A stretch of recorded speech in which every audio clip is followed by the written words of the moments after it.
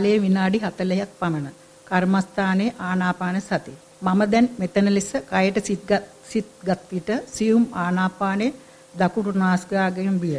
ක්‍රමයෙන් ඒ නොදැනී ගියා. මේ ආකාරයෙන් හුස්ම දැනීම නොදැනී යාම කීපවරක් සිදුවිය. කකුලේ වේදනාවක් හටගත් අතර එය දෙසට අවධානය යොමු විය. දැන් වේදනාව දෙස බලා සිටී. මදින් මද අවධානය වැඩි වූ අතර එහි වේදනාවක් නොමැති බව හැඟේ. නැවත ස්පර්ශය ලක්ෂයට සිත යොමු වේ. මද වේලාවක් යන්නට ඇත. කකුලේ වේදනාව තිගුර වී අවධානය ඒ දෙසට යොමු වී ඇත. වේදනාව දෙස බලා සිටීමේ. එතන ස්පන්දනය වනු දැනේ.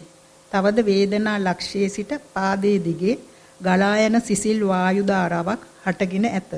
දැන් කුඩා ආලෝකමත් අතු කැබලි සමූහයක් මල්වැඩි වරුෂාවක් පහළට ගලා යන්නාසේ පාදයේ දිගේ ගලා යනු පෙනේ. දැන් එහි වේදනාවක් නැත. ක්‍රමෙන් අවධානය නාසිකාග්‍රය දෙසට යොමු විය. තරමක වේලාවකින් පසුව ශාරීරියේ තැන් තැන්වල සංකෝචන හටගනු දැනේ.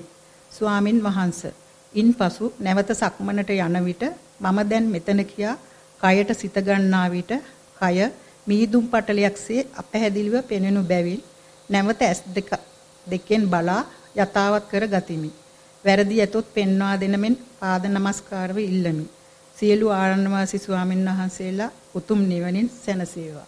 ඔය වැඩිට බැහැගෙන තියෙනවා.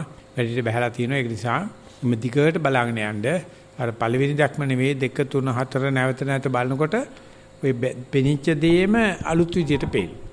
ඒ වගේ මේක වෙනස් වෙන්න පුළුවන් වෙනස් වුණාට කමක් නැහැ කියලා හිතාගෙන බලන්න. ආරම්භයේ මේ ටික හොඳයි. නමුත් දිගින් දිගට කරනකොට තමයි අතේ හුරුව කලපුරුද්ද කියන එක එන්න පටන් අරගන්නේ. ඒ නිසා මේකෙන් උනන්දු වෙලා නිතිපතා භාවනා කරන්න කියලා කියන්න පුළුවන්.